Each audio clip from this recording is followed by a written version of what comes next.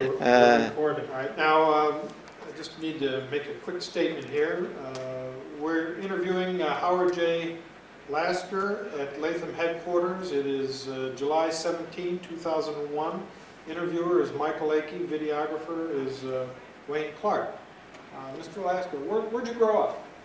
Where did I grow up? In Brooklyn, New York. Brooklyn? I'm a Brooklynite. Mhm. Came up to Albany to work for the state back in 1940, uh, 1940. Okay. And I met my wife at that time, and we were married uh, while I was in service. I was stationed in Florida at the time. She came down to Florida, and we were married there. Did you enlist? Or were you drafted? No, I was drafted for one year. Back in those days, I was drafted before the war, in March of uh, 40. Mhm. And you were drafted for one year at that time, and 12 months you would uh, be discharged. Sep- uh, December 7th came along, and the whole deal was canceled. Where, uh, where'd you do your basic? Where did I do my basic? I did my basic in infantry. I was drafted for one year, and I did it at Camp Wheeler in Georgia. Uh, And I, I was a college graduate, and they took all of the um, college graduates and put them in one p- platoon. Uh, They called it the intelligence platoon. When December 7th came around, they transferred the intelligence platoon into the signal corps. We were transferred out of the infantry, and uh, we set up uh, the air warning service uh, along the East Coast. There some of our people went to England, studied their, their air defense system, while the rest of us, uh, uh, we were at Drew Field. We set up Drew Field. It didn't exist at that time. We built Drew Field, and we all were trained in air warning service, and we were assigned up and down the coast uh, in the air warning service. And so I did that as an enlisted man. I was assigned to Tampa, and I was in Tampa uh, doing this, and uh, I was content to stay in Tampa because we uh, lived in the city. We were on rations and quarters. We were housed in the Floridan Hotel in Tampa, and we worked an eight-hour shift, and then you were free. And you could do anything you wanted, go anywhere you wanted. We, with our thumb, traveled all over uh, the coast down there. Now, you established this warning system. In the Uh, What US. exactly was it? Same thing, we had air, uh, ground observers uh, with telephones all up and down the coast. And if any planes flew overhead, uh, the ground observers would call them into our headquarters and say "Fla- planes are flying overhead. And we had the flight plans of every plane that took off from the field at that time. We knew every plane that was in the air. And if one was in the air that we didn't know about, we would send up a plane to investigate, who are they? And uh, so we had that same system with ground observers. They were pulled right in, and all the people that were in our outfit, uh, other than we, uh, Fighter Control Squadron is base, uh, has two different groups of people. Those who do the plotting and uh, what have you on the board make the decisions, and those who run the telephone lines and take care of uh, all the communications. So the communications people were brought right in from Southern Bell Telephone. And uh, our commanding officer was an executive at Southern Bell. He was just brought in, given a captaincy. He became the captain of the outfit, and never been in the military. And he ran all of the, his people, his linemen who ran up and down the poles with telephones and what have you. And they uh, gave us the information. And I was in the group of uh, plotters. We plotted the stuff on the pla, on the, on a map. And uh, as an enlisted man, uh, we just put the little dots on the map. Uh, It was the officers who made the decision uh, to send up our planes and give them Now, instructions. How long were you in Florida? And so I was in Florida for uh, one year from uh, 19, I was there right, a- uh, we were sent there right after war broke out on the December 7th. We were sent there on December 14th. We were at December s- uh, 14th, we're all being loaded on uh, trains, and we said, oh my God, we're going overseas already. Uh, War had just broken out, and we felt right away.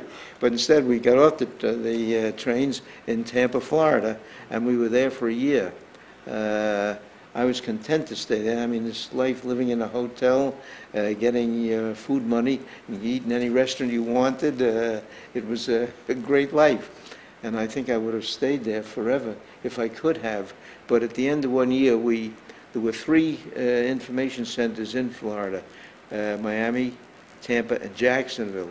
And we heard that Tampa and Miami were being closed, and all of Florida was going to be controlled from Jacksonville. So when I heard that, and that we were going to be shipped over to North Africa, they said, well, it's time to stop being an enlisted man.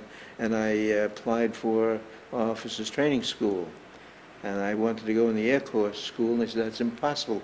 The only one that's open is infantry, said uh, OCS. And I said, I don't want to be an infantry lieutenant. Uh, I think you could understand why. I said, I want to be an Air Corps uh, uh, officer. And they said, that's impossible.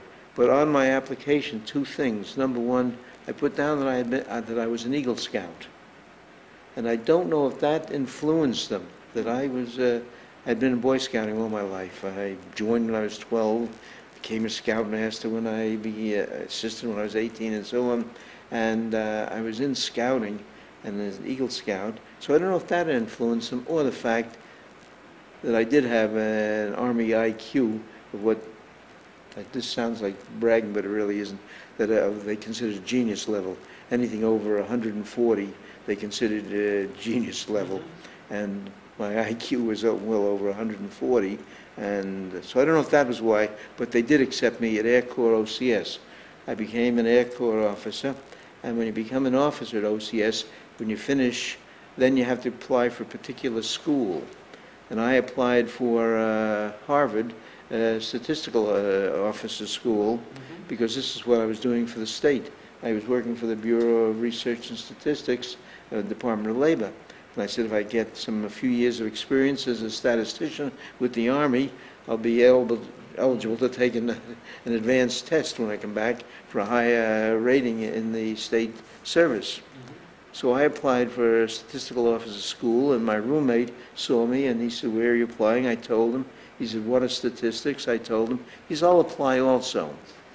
I don't need to give you the punchline on this story. He was accepted because he knew nothing about statistics. I was sent off to air warning school because of my basic, my training as an enlisted man.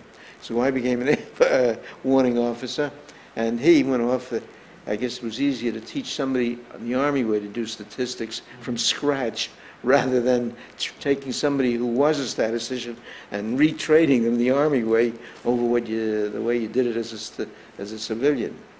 So I went into the air warning service.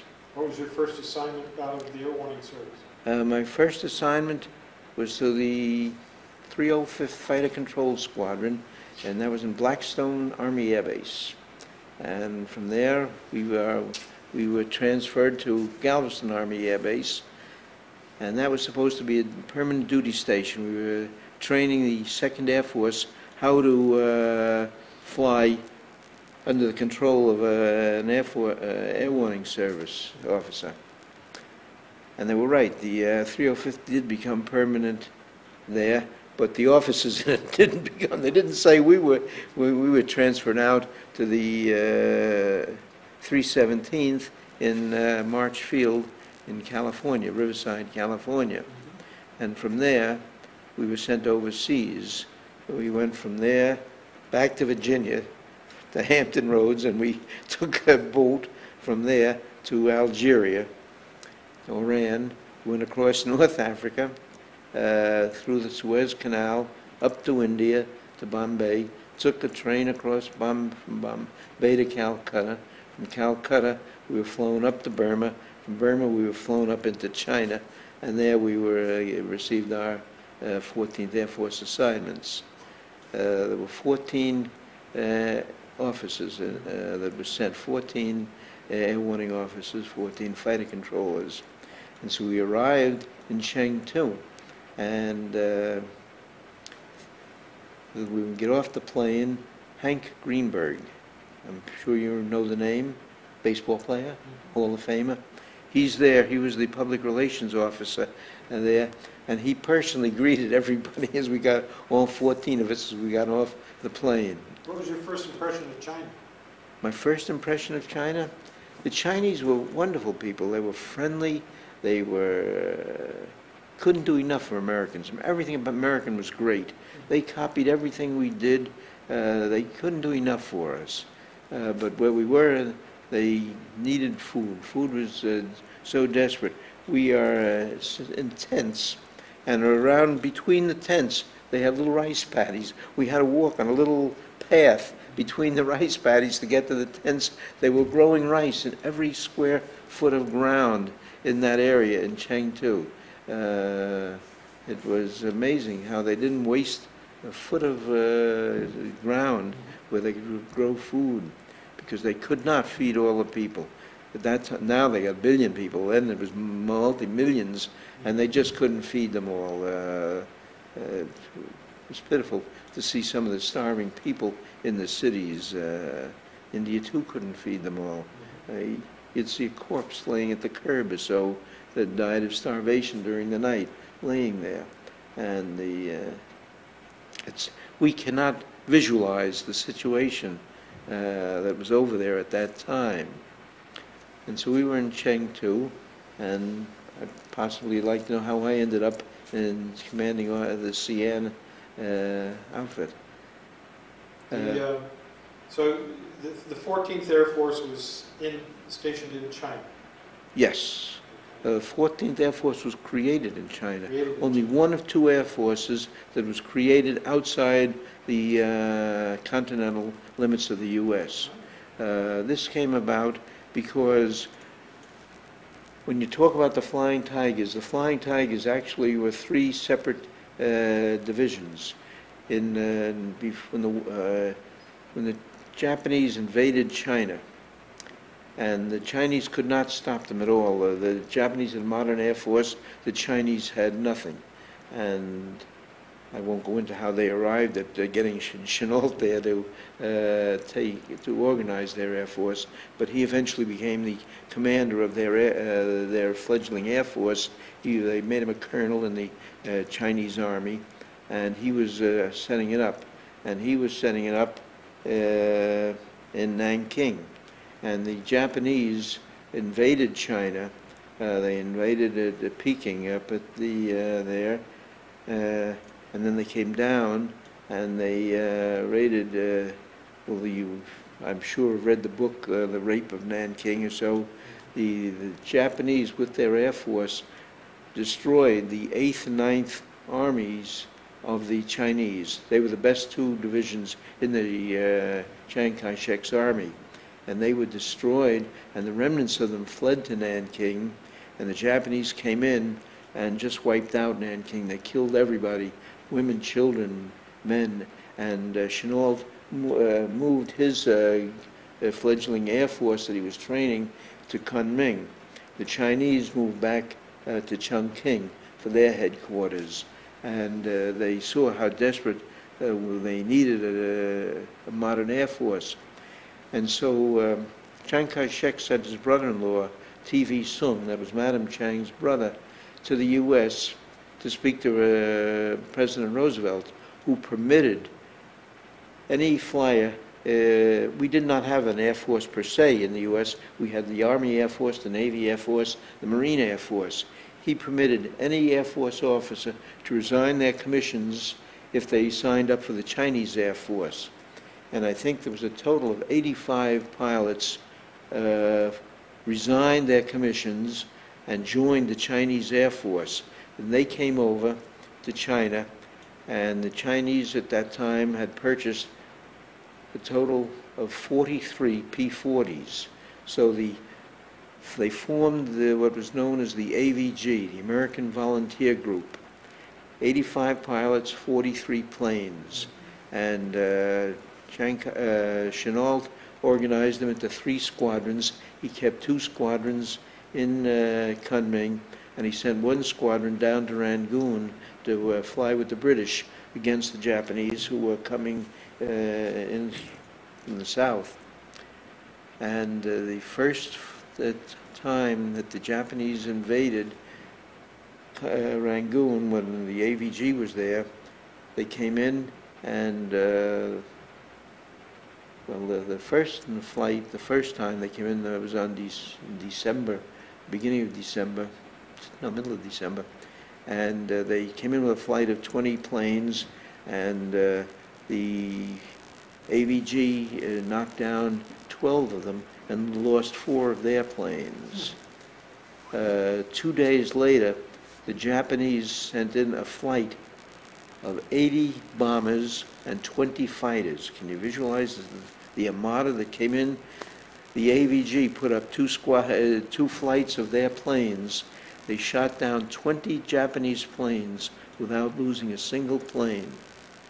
These are figures that I know when they came back and were printed in the papers here, people must have said this was a public relations man's dream.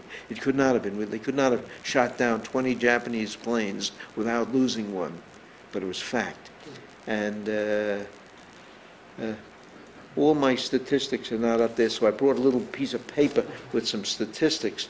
And uh, in the period of the AVG, they shot down 452 Japanese planes, losing only 12 U.S. planes. Can you visualize 452 Japanese planes with the loss of 12? Well, they only had 43 to start with. They couldn't lose many more and still uh, have existed. And so that was uh, the AVG. So uh, you came in, came in country about when? Well, I'll get to that if, if you can, and let me continue the sequence here. The first, so when the war broke out, in 19, and December 7th, uh, these, the AVG were brought into the U.S., back into the U.S. Air Force, and they became what was known as the CATF, uh, Combined Allied Task Force. Some people refer to it as the Chinese American Task Force because there were our planes, but they had Japanese, uh, Chinese flyers flying with them. And the, uh, this, I've got the dates because I can't remember all these dates. Uh, the CAT uh, was formed in July 1942, and they lasted for nine months until March 1943. March 43, uh, up until this point, the CATF and the AVG were under the control of, uh, of the CBI theater. Uh, The commanding officer of uh, the American forces was General Stilwell. General Stilwell felt the war was going to be won on the ground and was building the Burma Road and the Ledo Road, and he said, with our tanks, we're going to win the war. Uh, Chennault, uh, up in China, was saying, no, the war's going to be won in the air. He wanted the gas and oil. Stilwell was keeping it down there for his tanks and his trucks. So uh, Chennault appealed to uh, President Roosevelt, and it was in uh, 1943 that the 14th Air Force was born in China. When it was born in China in March 1943, he immediately ordered 14 uh, fighter controllers to assign throughout uh, China to work with his, uh, with the 14th Air Force. And it was at that point that I was sent over, that our group was sent over uh, to work with China. So that was in 1943 that we arrived in China. And we all arrived in Chengdu and we're sitting there, 14 of us. Uh, there wasn't enough work for 14 of us. I mean, you figure if you work an eight-hour shift, uh, how infrequently you got to be a controller with 14 of us taking turns. So some of us, uh, some of the people who became censors, and some of them became uh, all sorts of other odd jobs there. I was one, of, happened to remain one of the controllers, and I was on duty the night where everything was a secret. We didn't know that we were going to get uh, B-29s coming through to bomb uh, Japanese up in Manchuria, except we saw all of a sudden 10,000 Chinese uh, laborers out on the airfield.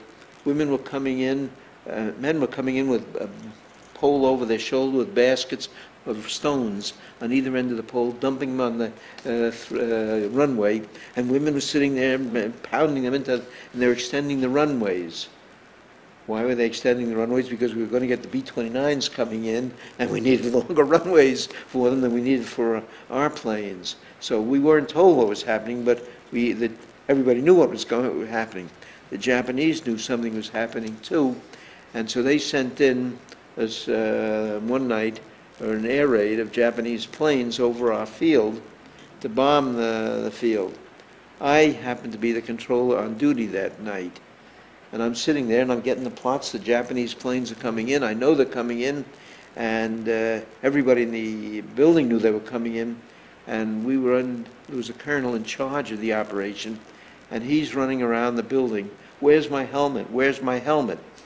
Now, we were in a building that was revetted with sandbags, and if bombs dropped on the field, we were protected. The shrapnels could not have hurt us. If there was a direct bomb right on our building, the helmet uh, wasn't going to help very much. And so he's running around, and I'm the controller on duty. I know we have to get our planes up in the air. He doesn't give me any orders. He's nowhere to be found. So I sent up, on my own initiative, our planes are in the air. The Japanese came in, our planes were up there, and they diverted the Japanese attack. They dropped their bombs. Not a single bomb landed on our field, and uh, Japanese turned around and went away. We didn't shoot down any of their planes, but none of our planes were destroyed on the field. Next morning, that colonel came over to me, and he said, last night, he said, you saved my butt. He says, I owe you something. What does this mean? A colonel saying to me, I was a first lieutenant at the time, I owe you. Didn't mean anything to me, but a few weeks later, he came to me, and he said, we're going to open up a squadron up in the Yellow River at Sian, and he said, if you want to be command, the command of the outfit, he says, it's yours. Now, uh, he gave me that choice because we're here in Chengdu, which is 400 miles away from the nearest Japanese airfield. Xi'an uh, airfield was in the south side of the Yellow River. The Japanese had an airfield on the north side of the Yellow River. We were, we were about 20 miles away from the Japanese. Now, you have to be out of your mind to go from 400 miles away to 20 miles away. But when you're 25 years old and you're gung-ho, uh, you don't even think about those things. I was going to become the commanding officer of this unit. I was going to become a captain. This was great. And so I accepted it, and I go up to Xi'an and uh, open up the uh, base up there. What was living like there? Uh, When we went up there, we were living in tents at the time. Uh, It was, uh, Xi'an has the latitude uh, basically of New York. And so it was the same temperature that we have here. Uh, Warm summers, could be very hot summers, cold winters, could be very cold winters. Where Chengdu was in a tropical area, it was hot and uh, humid and uh, it was strictly, as I say, a tropic uh, climate. And, uh, but one of the reasons I wanted to get up there too was the uh, Chengdu was the headquarters for the 312th Fighter Wing, the 311th Fighter Group, and uh, all the generals and all the brass was there, and we all had pressed uniforms, creases in our shirts, shine shoes, and a lot of saluting and stuff. Going up there, no generals, no brass. Uh, I was going to be on my own in charge of the, my unit, working with uh, a squ- uh, squadron of planes. Uh, so that was another reason why uh, Xi'an looked so appetizing uh, for me. So we got up there, and uh, the very first week or so that we were up there, the Japanese bombed the, the hell out of our installation. They knocked me off the air and, and everything, but uh, that's another, story. Uh, uh, I don't know where, how much of this you want me to tell you now, or you want me to, because when we were up there, uh, I was sent up there, my outfit again, half of them were, contr- uh, were controller people. I, my office was in an old German bomb shelter, down eight feet below the ground, in a brick bomb shelter, that the Germans, I don't know what period of time they were there, had built this. The um, hangar for the, the uh, squadron of planes was all bombed out, the roof was gone, and what have you. And uh, we were sent the, uh, one month at a time, one squadron of planes from the uh, fi- uh, 311th uh, Fighter Group. And the 311th consisted of three squadrons of planes, the 528th, 529th, and 530th. They were under the control of Colonel John Chennault, son of Claire Chennault. Mm-hmm. And John Chennault was up at the base with the planes, and Claire Chennault, his father, visited us at the base every month to visit his son. Mm-hmm. And I met, I would meet with the general every month. He- When he came up there, he'd come down to see my operation, and I had all of the respect in the world for this guy because any lesser general would have come down and to show that he was boss, he'd say, why don't you do it this way, why don't you do something that way? He'd come down, he says, I like what I see, and he'd walk out. He never once told me to do something his way. He said, I like what I see, and that was it. He never corrected anything uh, that I did there. And uh, uh, we set up our operations. I say I had this uh, Lieutenant uh, Wang from the uh, Chi- the Chinese Air Force as my interpreter. Uh, We worked with the ground observers. I had a topographic map there, and uh, it was underneath the plastic, and I would make plots over it as the calls would come into me from the various observers, and I would decide what the target was going to be, and I'd s- call over to the squadron of planes and put our planes up. One squadron I, uh, consists of four flights. There's 16 planes to a squadron, four flights of four planes each. So all, uh, the most I ever had was 16 fighters. But when the 14th Air Force was born, instead of the P-40s, they brought in P-51s for them. So at this point, I was controlling P-51s, not P-40s. And I had uh, two P-47s to use as night fighters. The P-51, the spinner out front, uh, there's a little flame that comes out from the spinner around be- uh, the, behind the propeller. So during the day, this is okay. You couldn't use them for night fighting because the flame in front of them, they couldn't see in front of them. The P-47, the flame came out beneath the plane, and we could use them as night fighters. So I used the P-47s as night fighters uh, for the, for the first six months until they sent in uh, some P-61s. P-61s was a night fighter plane. I don't know if you've ever heard of the P-61. If you say you haven't, I can understand this, because in 1981, we had a reunion of our 14th Air Force Association in Atlanta, Georgia, which at that time was the headquarters of the current 14th Air Force.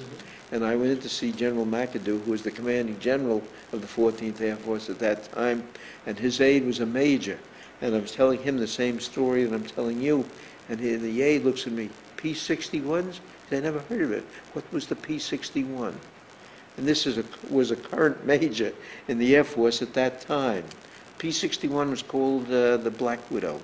It was a twin fuselage uh, plane, and it had a radar operator and a radar in the rear of the plane. Uh, And so the pilot is sitting up here, the radar operator is sitting in the back of the plane, and with the radar, they could see in front of them without seeing anything. So they, it was a perfect night fighter.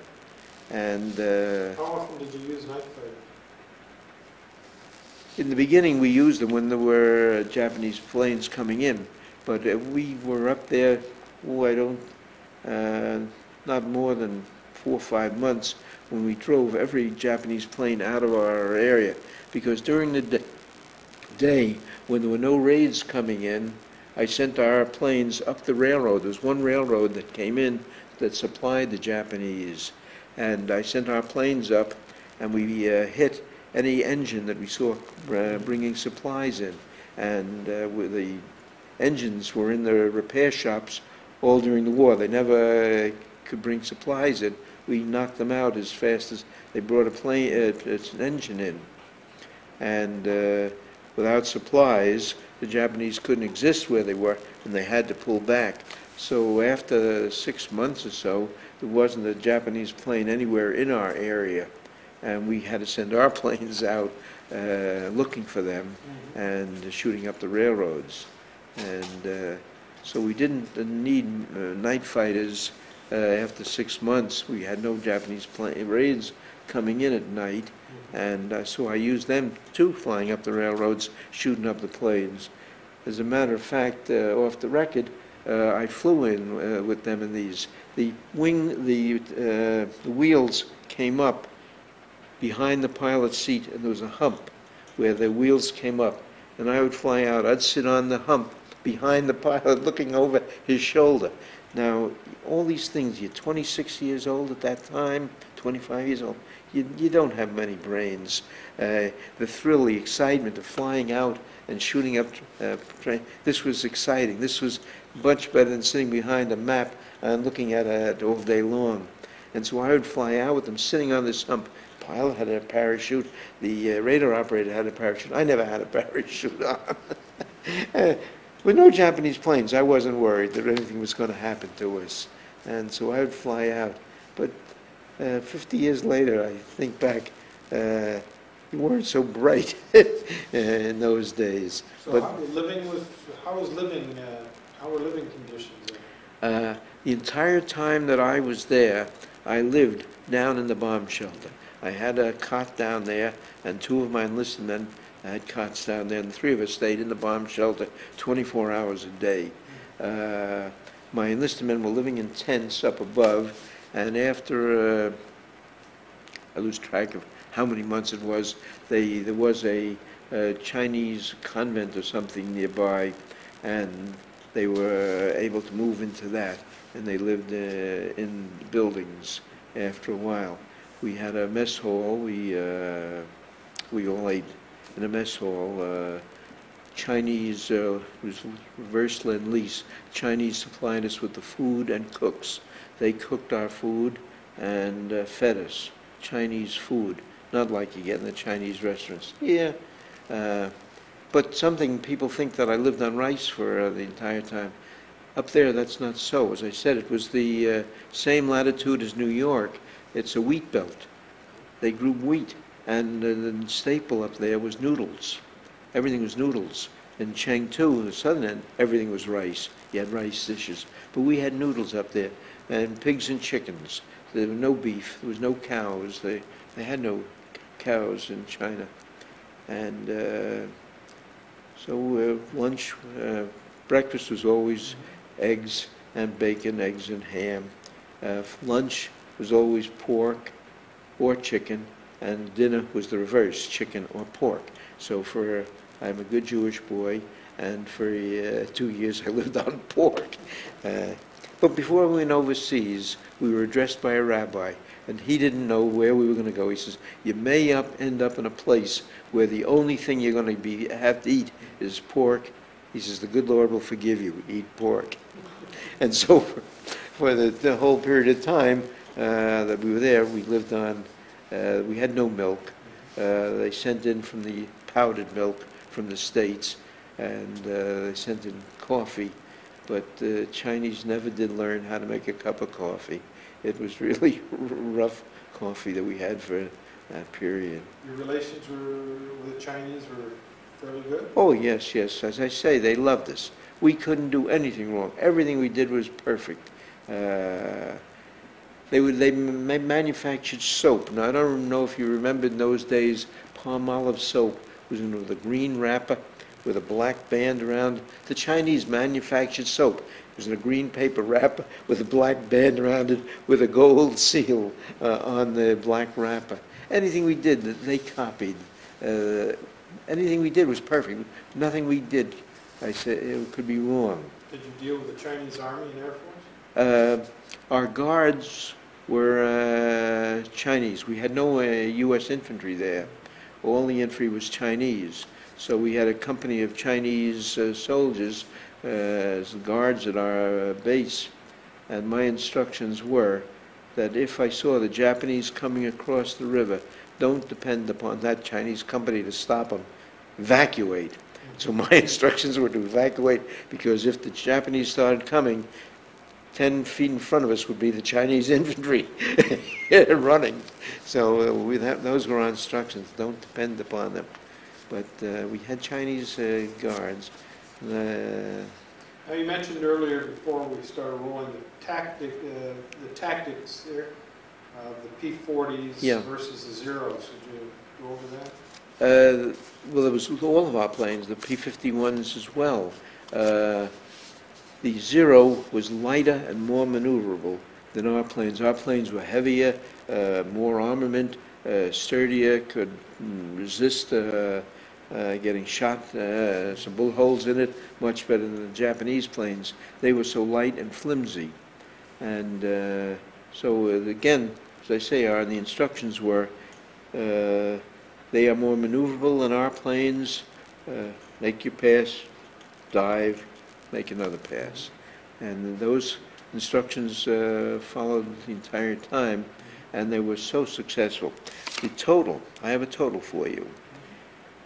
During the war, from 1941 to 1945, the Japanese lost 2,504 planes. These are actual statistics from the War Department.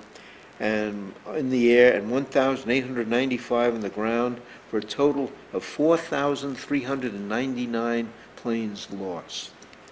We lost 117 planes in the air and 76 destroyed on the ground, for a total of 193. That's a total, an average of 22 to 1. We destroyed 22. It's a record that will never be equaled by any other Air Force anywhere in the world. 22 to 1, Now, how long were you posted up at this, uh, till the end of the war. to the end of the war? Oh, yeah, I was there, uh, our outfit was there till the end of the war. And when the war ended, uh, we couldn't wait to get out, and so uh, the, we received orders to go, but um, our outfit was co- sent back through uh, the way we came to Calcutta and reversed uh, the way we arrived there. I was, had been a captain up there for a year and a half or a year, and uh, that's because the table of organization called for captain to be the commanding officer of this. And they said, you've been a captain uh, long enough, you should have been, a- you should be a major. If you sign up for six months duty in, in Shanghai as a processing officer, processing everybody on the way home, we'll give you a majority. I said, I'm just as eager to get home as my enlisted men. I said, I'm on my way. So I never did become a major. I, and when I got back to Fort Dix in the United States, I was given the same uh, thing. They looked at my record and they said, you should be a major. Uh, Stay here for six months, processing the people as they come through. We'll give you a majority. I said, no way, I want to get home, I'm married, I want to get my family started, I want to get my uh, future started, and I uh, did not accept it, and uh, I got out. of- I was, got a separation of service. Uh, As an officer, I did not uh, get uh, the discharge. I signed up for the reserve because I said, I'm young enough, if another war breaks out in the next five years, they're going to call me back anyway, and I might just as well come back with longevity and uh, rank and so on. And I was right. Within five years, Korea broke out, and I was called back for Korea. And, uh, and I was called back in as a captain. Again, I was being assigned to a a squadron in uh, Detroit, which would have called for a major. And, but unfortunately for the Army, uh, when I was being processed, they said, married? I said, yes. They said, dependents? I said, yes. They said, how many? I said, four. They said, well, we're sorry, we don't take anybody back with four dependents unless they volunteer. Are you volunteering? I said, no. They said, well, we're sorry, we can't keep you. And then I got a second Uh, Well- Hold just a moment, we need to...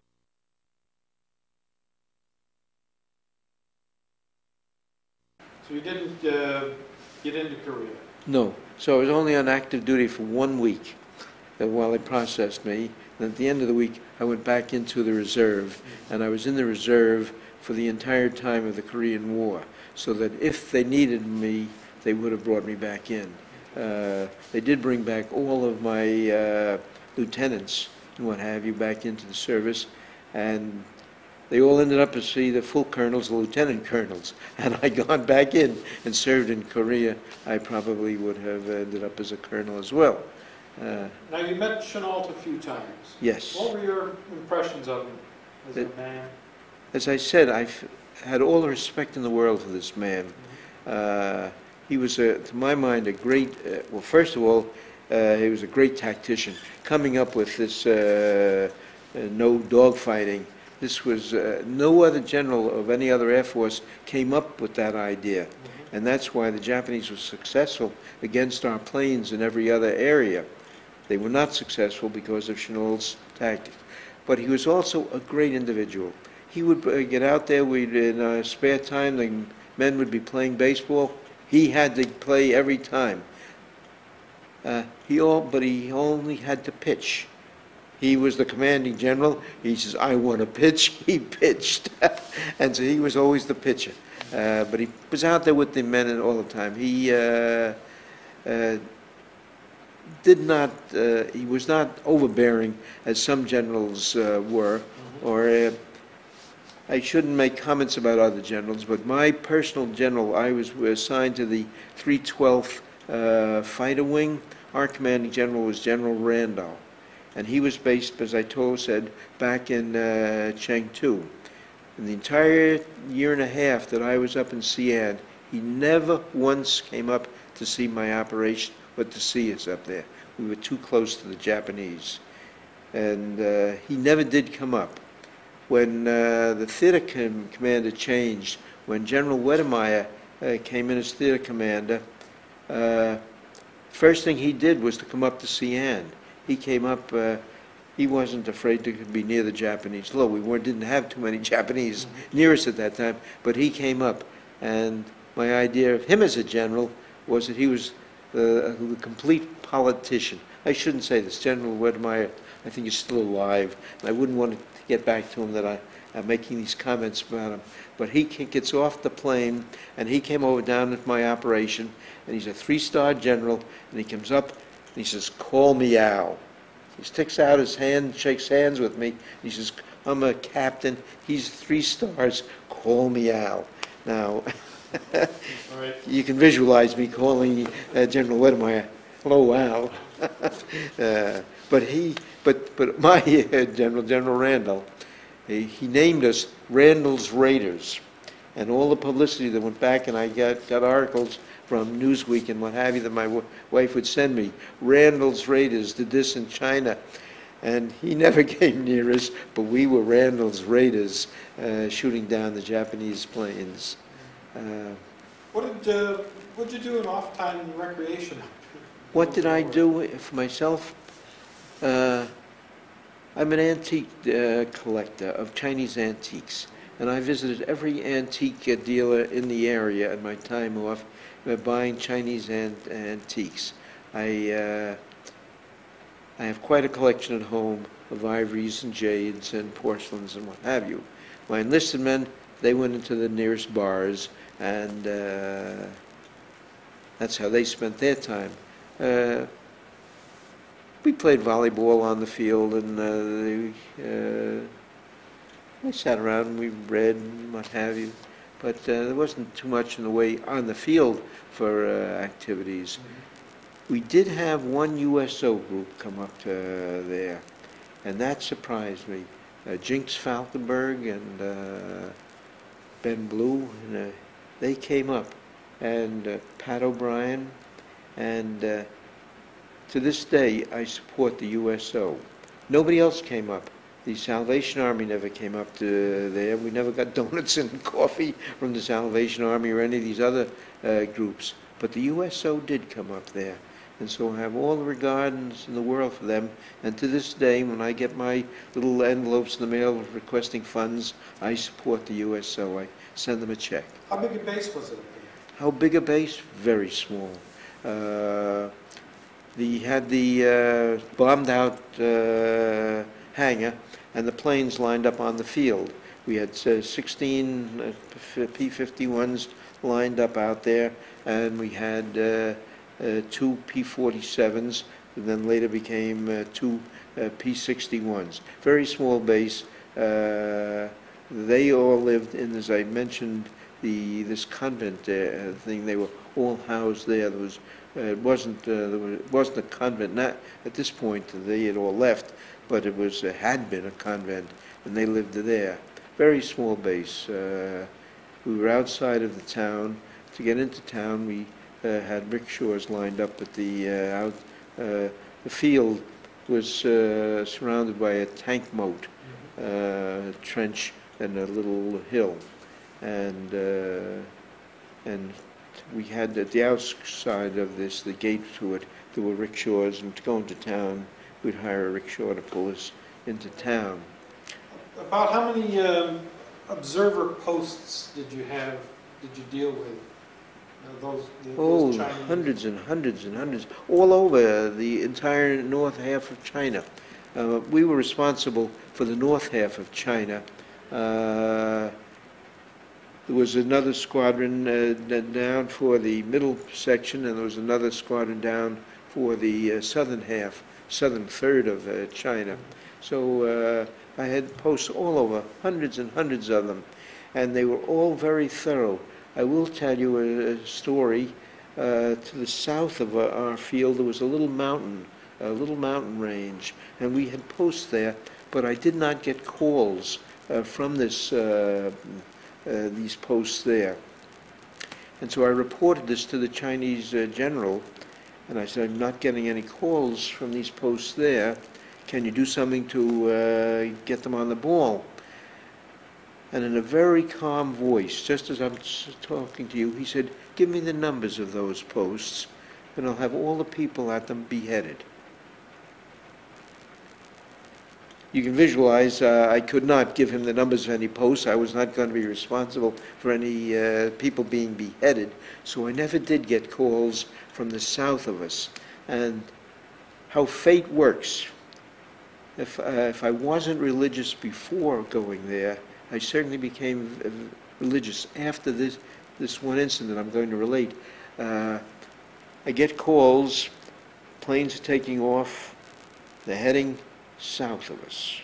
And so I'm sitting there looking at my map, and I'm plotting these calls, and I say, uh-oh, uh, so-and-so is going to get hit, hit tonight, they're going to get it, and I'm sitting there uh, thinking, we're not, we're not going to get hit at all. Now, when our field was uh, under attack, above my uh, bomb shelter where I lived, I had a little revetted area, sandbags, and in it I had a uh, transmitter that I could speak to the planes. And I would send up our planes and visually control our planes, uh, giving the altitude that I saw the Japanese planes were. Because if the Japanese planes were coming in at one altitude, I'd had to know where to send our planes, because if they were at a different altitude, they couldn't see the Japanese planes. So I would always visually control up on top when our field was the target. On this one night, and I'm sitting there watching the planes going south of us, one flight of planes veered off coming north over this area that I do not get calls from. I did not know that we were going to get hit. This flight comes over our field, our field got bombed, my operation got bombed, my antennas were knocked down, I was put off the air, and in the morning when I came up, in this little revetted area that I, uh, where I stood, there had been a direct bomb hit right into that I dug the shrapnel out of the sandbags. I have it home. I kept it. And uh, I have the shrapnel as a souvenir of what might have been in me had I been standing there, and I would have been standing there had I known the planes were coming up. But because I did not have these people beheaded south of me, and I did not uh, get these people replaced with efficient people, uh, I, I was saved. Now, is that fate or what? If I wasn't, as I say, religious before, I said, the good Lord is taking care of me. I'm right in his hand. He's watching over me. And whether this whole thing he planned to see what type of a person I was. And, uh, well, I don't know how to explain it, but uh, somehow I felt that the good Lord took care of me by uh, not having me up there that night. Did uh, you experience any of the internal politics of China? Uh, internal politics. No, I was, I met with the Chinese general. He was the Chinese general, he was the governor of the province, he was the warlord, whatever name you want to give him. But he was life and death over this. As a matter of fact, all of the uh, Chinese commanders had life and death control over their people. As I said, we had Chinese guards around our, uh, my area. My enlisted men were complaining that uh, things were missing in, from the tents. I said, how can that be? You've got a Chinese guard walking around there. How can things be missing? One afternoon, one of my enlisted men uh, had an upset stomach and he didn't go to uh, mess. He was laying in his cot. And he's laying in there and he sees a hand sneaking in through the corner between the tent flaps, reaching into a barracks bag and pulling out a carton of cigarettes. He gets out of bed and runs out. It's the Chinese guard who, who is stealing. So I reported this to the uh, uh, commanding officer of the Chinese company and protocol. He invites me to have company punishment for this man, and I want you there as a commanding officer of this unit, to observe. So I went over there visualizing company punishment as we would have it, man walking back and forth with a 60-pound pack on his bag, on his back, walking back and forth. Instead, in the middle of the parade grounds, there was a bronze post, uh, the diameter of a telegraph pole. This man is standing uh, in front of the pole with his arms strapped behind the pole. The company of um, the Chinese enlisted men line up. They were having these big padded jackets that they wore in the, in the wintertime with a big leather belt with a big brass buckle. The 200 men in the company line up, take off the belts, wrap them around their fists with the brass buckle hanging there. They line up, the first man goes up right across the face of this man tied to the pole. Second man comes up, across the face with the buckle. After the fifth man walked up, I thanked the Chinese uh, commanding officer and I left. I wasn't going to watch this face being mm, uh, turned into chop meat.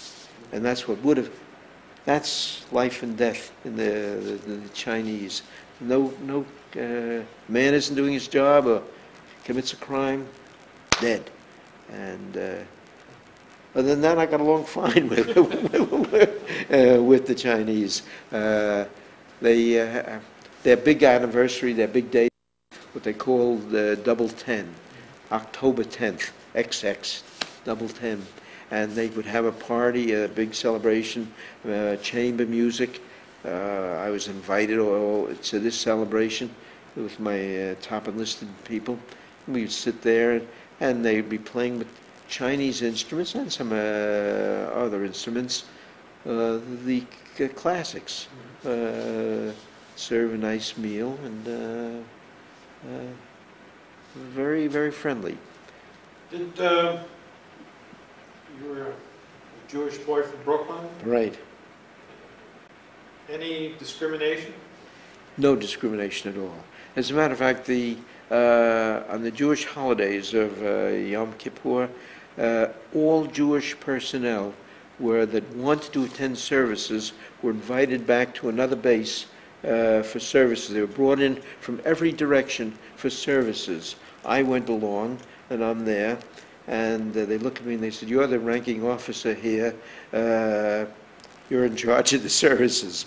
Uh, frankly, I was not that knowledgeable of our Jewish, uh, con- conducting Jewish service, but fortunately, some of my enlisted men were, and we put on a Jew. But they did, for all the Jewish personnel, they brought them in to- for their services. We were off duty during the holidays, and uh, uh, no, there was no discrimination at all there. Uh, When you say discrimination, there was no blacks uh, over there either. At that time, in 1943, uh, the blacks were not integrated with us. No blacks in our outfit at all. It wasn't until Harry Truman came in as president that he integrated the Army. Uh, The blacks were always, uh, had a separate unit elsewhere. They were never, in- even in this country, they were not on the same base with us. I mentioned Camp Wheeler. Uh, We had all of our companies on- in Camp Wheeler. Uh, The black company was outside the field. They weren't on the field, and they were brought in uh, in the wintertime to clean out the ashes in the potbelly stoves that we had in the barracks and to take out the garbage. That's what they used the black company for. It, uh, coming from Brooklyn, where uh, I went to Brooklyn College, and half the students at Brooklyn College were black, so uh, this never set right with me. I just couldn't uh, go along with that, but You were discharged when?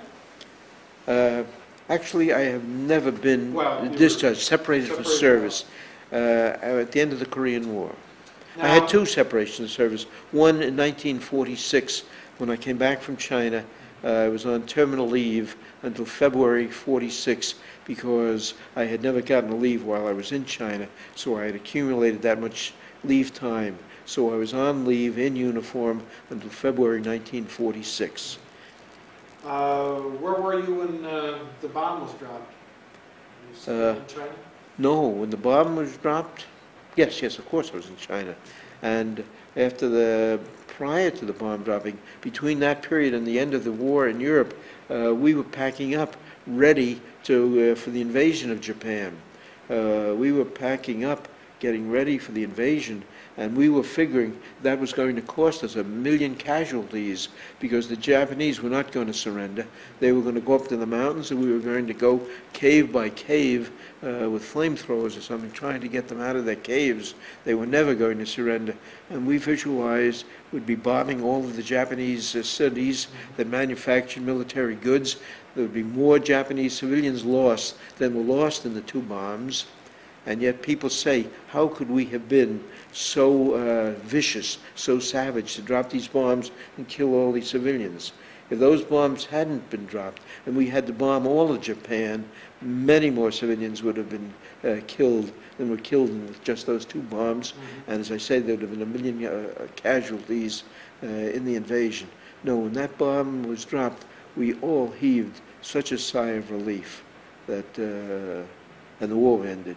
Uh, it, uh, You, um, you have any general thoughts about your military career? any thoughts about it? Other people uh, have complained about the time in service. I enjoyed my period in time. I was away from my family, which uh, certainly was, uh, was an unhappy uh, period for me. But I, w- I have the ability to enjoy. I enjoyed the country over there. I enjoyed meeting the people. As you asked me what I did with my time off, I'd go into town to these uh, antique stores, and I went so frequently that I became friendly, friends, I should say, with all of the Chinese uh, civilians, the owners of the stores, their families. I met them. Uh, I would, they would invite me to have dinner with them. I would uh, have dinner if it was during business hours. So in their stores, they would have two tables, one big table, where all the men sat around it, a smaller table in the corner where the women sat around. The women did not sit with the men at the same table.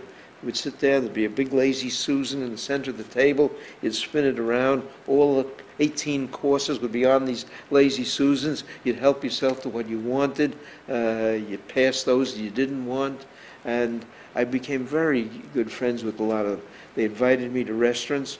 When we went to a restaurant, the family, the women never came, but they hired women to sit at the table just to pour drinks for us, and to make conversation, to light a cigarette if you smoked, and just to have female companionship there. Uh, just during the meal, was, there was nothing uh, sexual or anything about it, but they would have hired women to, uh, but I went to restaurants with them, and the, I became such good friends that towards the, I'd been there about a year or so, and they decided to surprise me, one of the families, with an American-styled meal. And all this time, I had been eating with chopsticks. And the little children would laugh at me the way I uh, uh, couldn't maneuver the chopsticks the way they did. For this meal, they had manufactured knives, forks, and spoons. They were flat. The, the uh, fork was perfectly flat. And at the table, the little children were trying to eat with a fork, and I laughed at, I, it was time for me to laugh at them. They couldn't pick up any food on the forks. But this Chinese, this American meal, somewhere they had dug up a hand crank ice cream maker. The first course was an American uh, meal. Ice cream. That was the first course. And the whole meal ran backwards. Uh, they had steak. Where they got steak, they didn't have cattle there, but they had water buffaloes out in the fields. And these water buffaloes, uh, they didn't kill them until they dropped dead from old age. And then the, the steak was like shoe leather. It was so tough. And trying to cut it with these man-made uh, knives and forks uh, was something. But I was so thrilled that they thought that much of me to put on an American-style dinner for me on this occasion. But the Chinese, as I say, went out of their way to be nice to the Americans. And I wondered, after the war, how could they have uh, come over to communism the way they did? Something that you have to realize, uh, Chiang Kai-shek, Mao Zedong, Enlai, all were communists to begin with. They were all trained in Russia in the 1918, uh, in the beginning, uh, when Sun Yat-sen was there, and they were all trained as communists. And uh, these, these were all companions at that time. But when Sun Yat-sen died and Chiang Kai-shek uh, took over, he immediately turned on all of his uh, communist buddies, and the nationalist government was formed. Uh, but he was a socialist to begin with, and uh, uh, I'm trying to think um why they, they switched. During the war, Chiang Kai-shek was fighting the Japanese, losing his best soldiers, best armies. The communists were getting stronger and stronger. Up uh, the, uh, if you can visualize the area where I am, there was Yellow River was like a Y, and the Japanese were in the Y in the uh, part. The communists were on the other side, north of the river, and we were south of the river. And the communists up at Yenan, with headquarters at Yenan, were getting stronger by the day. Had not, uh, they had signed a pact with Chiang Kai-shek that they would not in, invade China while the Japanese were on their soil. So they didn't. They stayed neutral, but they grew stronger. Uh, something that is not known and the, the American government has never admitted, we paid the communists in gold for any of our pilots that managed to get over the Y into their territory and, and crash and come down. Any pilots that the communists returned to us, we paid in gold for their return. But the, we had at our field uh, one officer whose only job was to sit at a radio in contact with Yenan. 24 hours a day, his radio was in contact with Yenan, and if any of our pilots were downed and where they uh, were picked up by the communists, he was in contact, made the arrangements uh, for the transfer of gold and the return of the pilot. Now, our government has denied ever having any relations with the communists. I know for a fact that this is not so because I knew the uh, officer in charge. Uh, his name was Sam Steele, and we became buddies.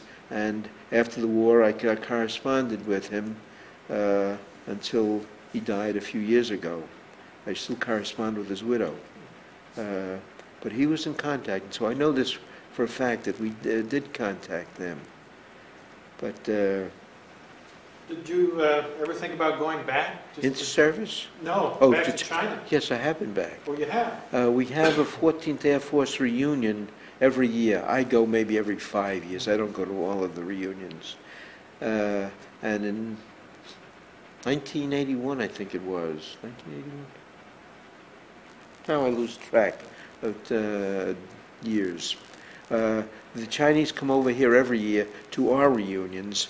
So one year we decided we would have our reunion with the Chinese uh, over there, and uh, I went with the group that went back uh, for our reunion with the Chinese over there.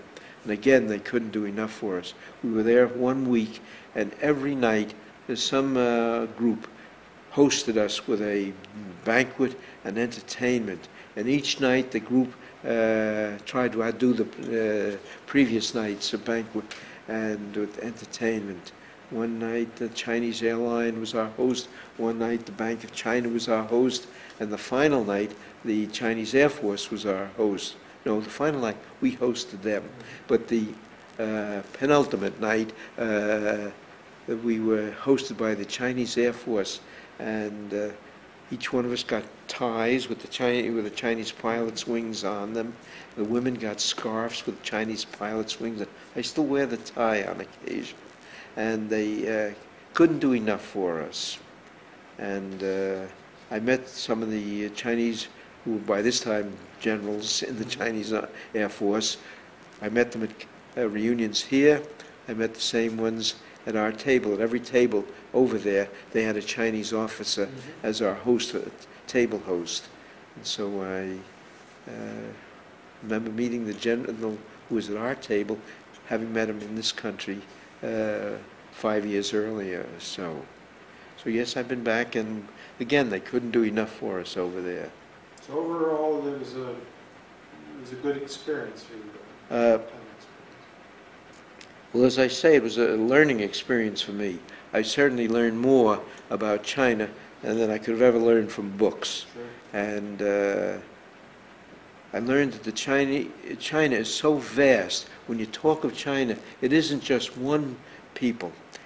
It's many. In the south, uh, they speak a different language than they do up north. They speak Cantonese in the south. They speak Mandarin Chinese in the north. The Chinese uh, in the south are darker. You find some black-skinned Chinese in the south, and as a group, of course, there are exceptions, that they were shorter. In the north, in the colder regions, they were taller, and they were fairer skinned. In the south, they were shorter and uh, darker skinned. Different languages, spoken languages. The written language is uh, the same. Uh, one of the people that went with me back to China, uh, when we where we were, he couldn't converse with the people, but he would write it out. He could write Chinese, and he would write out, and they could read what he wanted uh, because the written language was the same, but the uh, Cantonese language is different than the Mandarin Chinese, and. Uh, and the country is so vast, as I say, it's a tropical region in the south, it's a temperate region in the north, you go of still further up, uh, you get almost to a frigid region if you go far enough north. And entirely, the, the people were not the same, the language was not the same, the customs were not the same. So, but we speak of China as being one uh, country. Well, thank you very much, Mr. Lasker. That was, uh, that was excellent. We appreciate it. Well, I was very happy to get this on record. As I say, some of the things that we did uh, will never be known. Things, Chinese re, um, reunion in, over there, there was a young honeymoon couple there from the United States. We were in the Grand Hotel. We were all wearing caps with the, well, they gave us red caps with a flying tiger on the front of it. And the young bride comes over to me and says, I see all you men here with these caps with that funny insignia. What is that? I said, that's a flying tiger. We were over here during World War II fighting uh, with the Chinese against the Japanese. She looked at me and said, we were over here during World War II? And then she floored me with her next question. She said, did we win? Thinking of Vietnam, possibly.